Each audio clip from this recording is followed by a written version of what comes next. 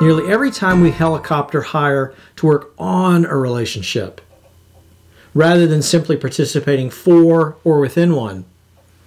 We are making tiny investments in a better, bigger, brighter future together.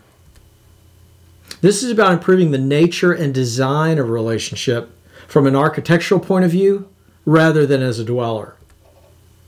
Five common examples in which the nature and design of a relationship changes include when we move from being someone's subordinate to that person's peer, or from being someone's buddy to that person's boss, or a big swing from being subordinate to someone, that person's direct report, to now that person's supervisor, or from doer to dreamer, engaging employees to dream bigger than present job descriptions and to shape strategies beyond tactics.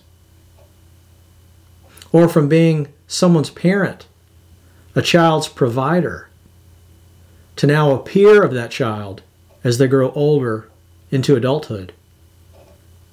And perhaps ultimately to becoming a patient, cared for in many ways by our child.